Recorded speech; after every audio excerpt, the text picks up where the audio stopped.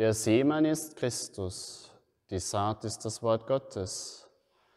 Dort, wo es hinfällt, das ist das Herz.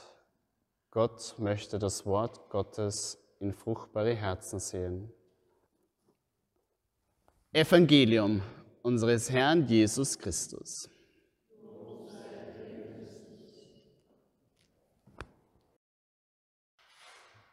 Heute ist eines der spannendsten Evangelium zum Thema Wort Gottes. Dieser Text ist so vom Hören her eigentlich sehr kompliziert und schwer zum Verstehen. Aber wenn man ihn genauer anschaut und diesen Text vertieft, wie es Jesus hier meint, dann beginnt dieser Text in uns Verständnis hervorzubringen. Wir beginnen mit dem Satz, immer wenn ein Mensch das Wort vom Reich hört und nicht versteht, kommt der Böse und nimmt von ihm alles weg, was in sein Herz gesät wurde. Das ist der Kernsatz dieses Evangeliums. Immer. Die erste Frage, die wir uns hier natürlich stellen, ist, wo ist denn dieser Seemann, der diese Saat aussät, ausstreut. Wo sät dieser Seemann und wer ist dieser Seemann? Dieser Seemann ist Christus. Dieser Seemann ist Gott. Und er sieht Wort Gottes aus. Er spricht. Er möchte in uns etwas bewirken. Er möchte in uns etwas anregen, hineinlegen. Jesus, Gott. Aber wo streut er dieses, dieses Saatgut aus, diese Körner? Im Gottesdienst, im Gebet, im Lesen des Wortes Gottes. Die Begegnung dieses Seemanns braucht es. Und wir sind hier gefordert und eingeladen, immer wieder dorthin zu gehen, wo dieses Wort Gottes ausgestreut wird damit es in uns überhaupt kommen kann. Wenn wir eben lange fern sind vom Platz, wo dieses Wort Gottes ausgestreut wird, dann kann nichts in uns hineinfallen. Denn dieses Wort Gottes ist unglaublich wirksam, unglaublich fruchtbar, denn es hat alles bewirkt. Es hat bewirkt, dass die Welt entstanden ist. Es hat bewirkt, dass du und ich existieren. Es bewirkt, dass du und ich zu essen haben, zu trinken haben. Es bewirkt, dass du gesund bist. Es bewirkt, dass du denken kannst. Es bewirkt alles, alles, was wir irgendwie angreifen und haben, bewirkt dieses Wort Gottes. Aber, wie es in diesem wichtigen Kernsatz beschrieben wird, es gibt das Böse. Und dieses Böse möchte das Gute zerstören. Wir wissen es, wenn wir die Medien einschalten den Radio, den Fernseher, die Zeitungen, dann sehen wir im Endeffekt zu 90, 95 Prozent die Wirksamkeit des Bösen.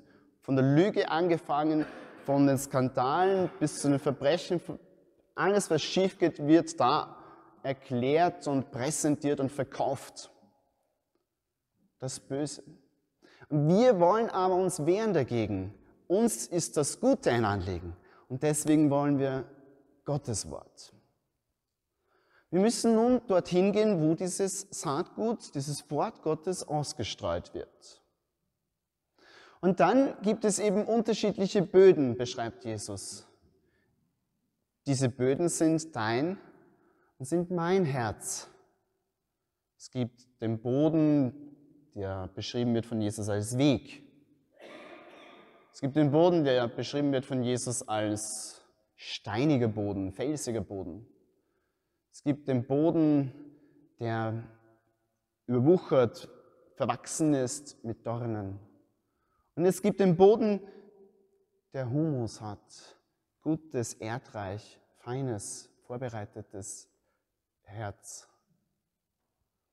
Unsere Herzen sind unterschiedlich. Wir können aber hier einen Beitrag leisten. Es ist nichts fixiert, dass du Weg bist, steiniger Boden, verwachsener mit Dornen. Nein. Jesus möchte hier aufmerksam machen, wie wir mit dem Wort Gottes umgehen. Lassen wir es in uns hereinkommen. Wie bewahren wir es?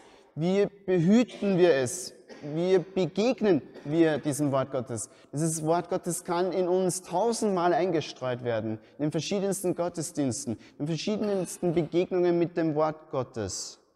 Und beim tausendsten Mal kann es Frucht bringen.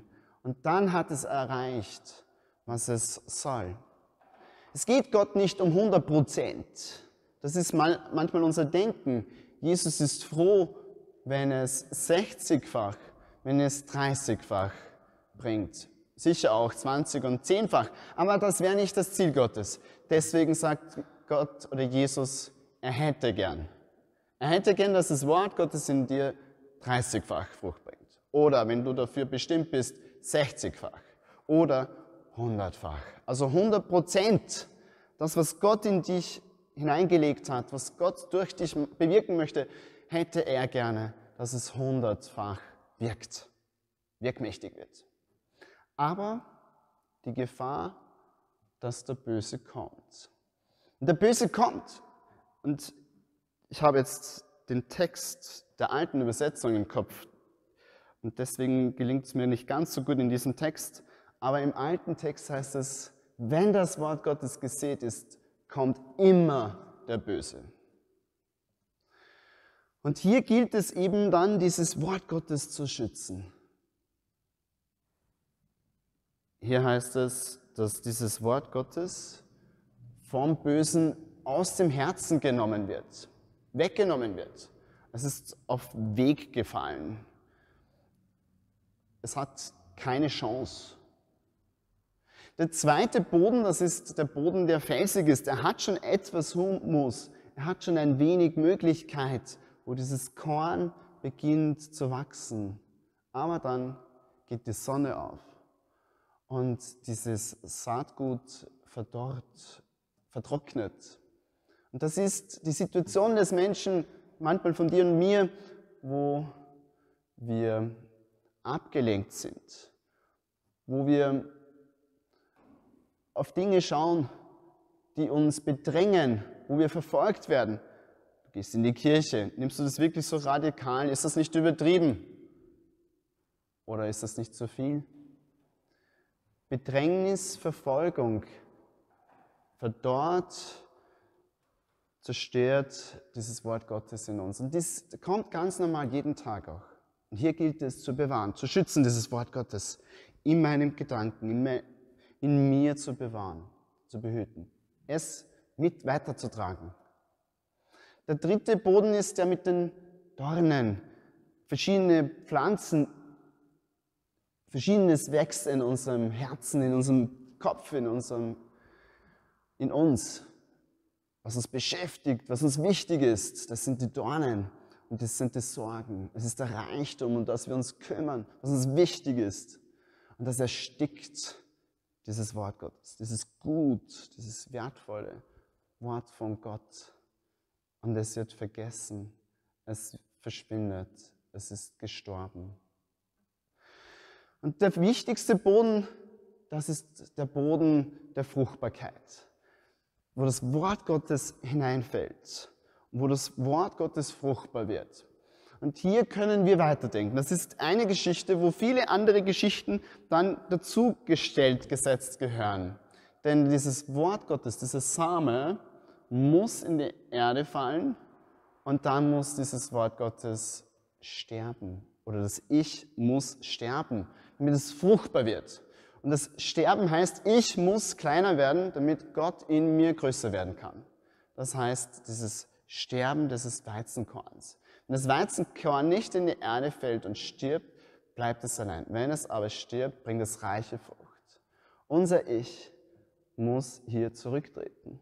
Unser Ich muss diesem Wort Gottes Platz geben, damit es fruchtbar werden kann, damit es anderen Menschen zum Dienst wird, damit es das Reich aufbauen kann.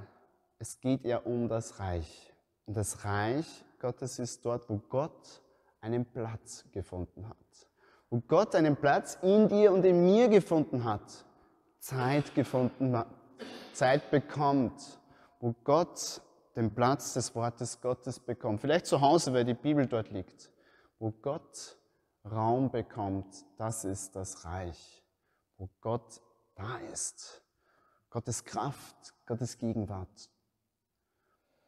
Wir sind heute besonders eingeladen, offen zu sein für das Wort Gottes.